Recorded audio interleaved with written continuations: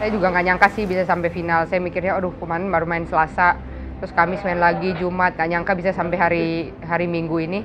Ya surprise buat saya juga senang juga dan saya bisa apa namanya ending endingnya bisa kasih yang terbaik. Saya bisa juara lagi di Indonesia Open. Dan ada gembira dan sedih juga sih buat saya. Gembiranya saya bisa mempertahankan gelar bisa juara di Istora juara Indonesia Open.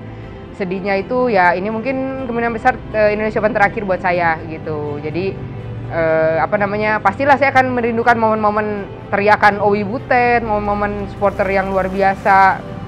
Dan nggak bisa ditemuin di pertandingan yang lain gitu cuma ada di Indonesia Open. Pasti saya akan kangen. Cuma ya seperti saya bilang uh, cepat atau lambat juga uh, masa apa retired itu akan akan ada masih akan datang. Jadi tinggal saya memutuskan tahun ini tahun depan dua tahun lagi sama aja pasti akan retired ya udah udah pasti saya ingin mengucapkan terima kasih yang sebesar besarnya dari apa pendukung dan pecinta bulu tangkis Indonesia yang nonton di Istora maupun di rumah di TV pasti karena doa doa mereka saya dan Owi bisa ngasih gelar juara di Indonesia Open ini dan apa namanya ya